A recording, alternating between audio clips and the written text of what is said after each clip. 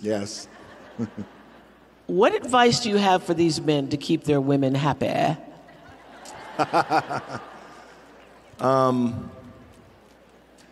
Remember that you're usually wrong. Number one. Um, but uh, I would say uh, keywords to remember. Yes, honey, you're right.